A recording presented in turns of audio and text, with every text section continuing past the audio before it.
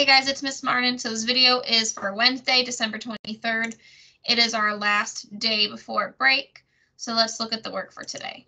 So it hasn't been made clear yet if we're going to have classes or if it's going to be like a normal Wednesday. Um, so I'm just going to show you how to do this activity in case you are doing it independently like you would normally do on a Wednesday. So it says Miss Marnon is making cheesecake for the holiday break. Use the recipe below to answer the following questions. Question one, how many total cups of sugar does Miss Marnon need? Question two, raspberries come in 12 ounce packs. How many will Miss Marnon need to make this recipe? Question three, a package of 20 shortbread cookies weighs 11.2 ounces. What is the weight per cookie? Question four, how many cookies can Miss Marnon eat from the package? So for this fourth one, it's a little tricky. You're gonna have to figure out how many cookies extra she has. And so those are what I can eat. So you're gonna have to use your answer for number three to help you answer number four.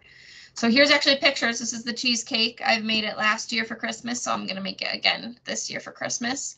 So here are all the ingredients. You just need to look at the ingredients to be able to answer these four questions. But if you wanted to make this recipe at home, um, here's the whole recipe. So if you really felt like, hey, this recipe looks really tasty, I want to try it, here's the recipe right here. I know not everybody eats gelatin. They do make gelatin substitutes that you could use instead. Um, but this is a no bake cheesecake, so it needs something to make it stay kind of set and still. So it's just these four questions.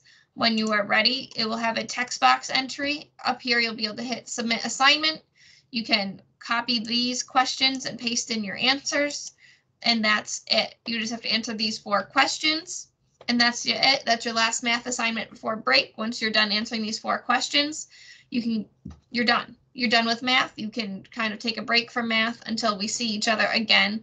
So we will be coming back Monday, January 4th. And so if you needed a reminder, that is right here on our module page. School resumes Monday, January 4th. So I will see everybody in the new year.